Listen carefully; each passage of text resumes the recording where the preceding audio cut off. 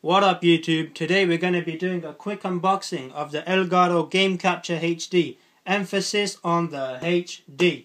Now if you're a 360 gamer like me and you want your gameplay to be put up on YouTube or any other sites, then really this is the card you need. You don't need anything else man. This is so simple to set up.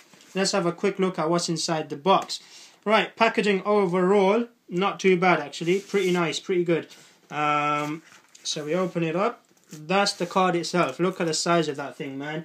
Here's an iPhone, about three times the thickness, and I mean, look at that. It's it's it's nice and small, nice and compact, really. All right, what else do we have? We got um, the included HDMI cable, which you need, which is pretty good.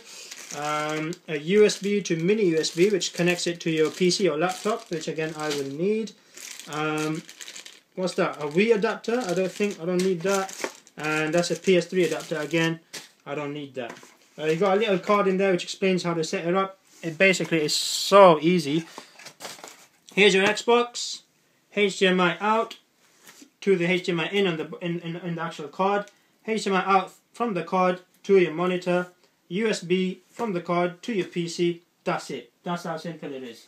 So all you need three cables one to your Xbox one to your monitor one to your PC that's it um, so we're going to do a quick little clip now, and um, there you go.